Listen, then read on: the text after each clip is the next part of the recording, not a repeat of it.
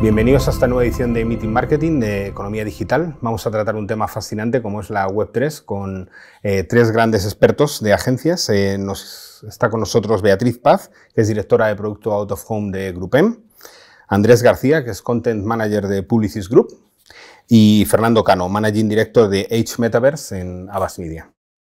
Aquí quien manda es el usuario es el centro de parte del mundo descentralizado, pero si la web 1 era leer, la web 2 es leer y escribir, la web 3 es pertenecer, es tener, o sea, es, el usuario, es el que es el centro, él va a marcar las tendencias va, nos va a decir qué es lo que necesita. Y alrededor del usuario, que están surgiendo, van a surgir un montón de nuevas startups, de nuevas ideas, de, nuevas, de nuevos proyectos que van a hacer eso, cosas que ahora mismo nosotros no se nos están ocurriendo porque podemos identificar el problema, pero a lo mejor aportar la solución es un poco es un paso más allá, pero sí que es verdad que eso estamos viendo que se está trabajando la interoperabilidad. Ya existen proyectos en el cual incluso podemos pasar de cambiar de blockchain, que es otra, porque estamos hablando de interoperabilidad no solamente de plataformas eh, o de metaversos, estamos hablando, de eh, interoperabilidad que uno trabaja con una blockchain que está basada en Ethereum y otra mm, está basada en Solana, no lo sé por decirlos.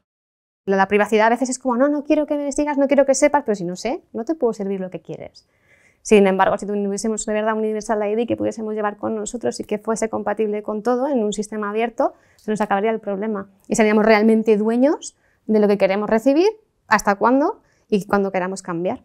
Tiene un cambio de paradigma lo que tú estás diciendo, porque al final eh, el usuario de la Web3 eh, se convierte en el protagonista y el dueño de sus datos, ¿no? Y es el, usuario mismo se va a convertir en un stock de datos que él mismo va, a gestionar, que es, lo que estaba, que es lo que estaba comentando él.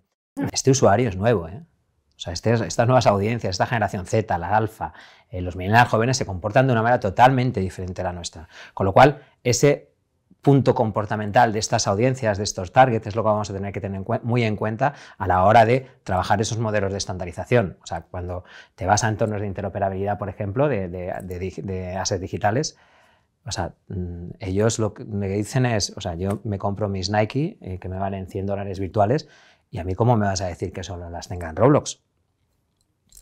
es como si le dices a alguien que se compra un bolso de Gucci en la calle Serrano y que solo puede pasearlo por Serrano y no solo puede llevar a Velázquez. O sea, es, entonces, ahí nosotros pensamos que el usuario es el que va a marcar la línea hacia donde van a ir eh, esta estandarización. Y, la estandarización pasa por una descentralización y una, y una interoperabilidad y hay un montón de proyectos a los cuales dan financiación. Eh, para aplicaciones a blockchain, porque está diciendo Fernando, tampoco no sabemos lo que, lo, que se nos va a ocurrir eh, dentro de un año. Por, por, por, hacer un paralelismo, si me dejáis, o sea, es como si estuviéramos en 1995 hablando de Internet. Imaginaos administraciones públicas metidas aquí, donde tú ya no tienes que llevar 8.000 papeles a una a otra, ¿no? Tu DNI, que es tu identificado, tu ID único, y a partir de ahí todo el mundo tiene todo absolutamente conectado, accesible, transparente y seguro al mismo tiempo, porque solo es activable si yo lo deseo, porque si alguien activa el mío sin mi permiso me va a saltar. Nos vamos a la palabra de NFT, todo el mundo especulación, eh, burbuja, pinchazo de la burbuja y todo tipo de eh, triquiñuelas como las que acabas de, de decir. ¿no?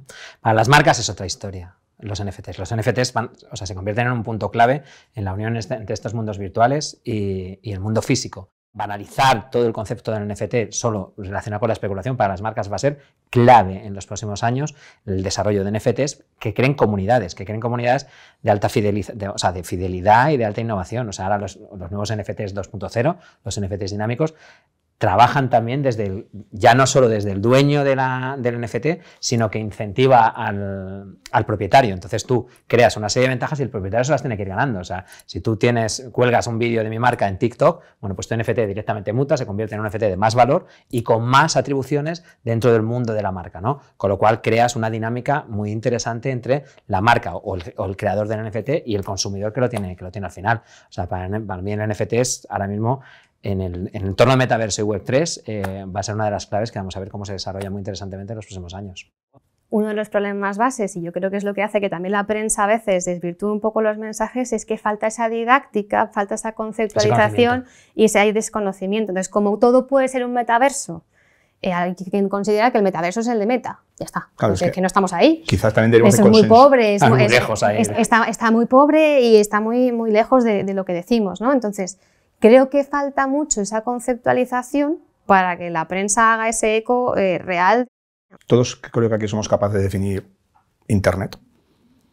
Metaverso probablemente vayamos a, daríamos definiciones muy distintas si preguntas a cualquier profesional del mercado, pero es que a mí me preguntas mañana y probablemente te dé otra definición también, porque antes hablábamos de que lo que veíamos hace tres meses ahora mismo se queda obsoleto. Se queda obsoleto.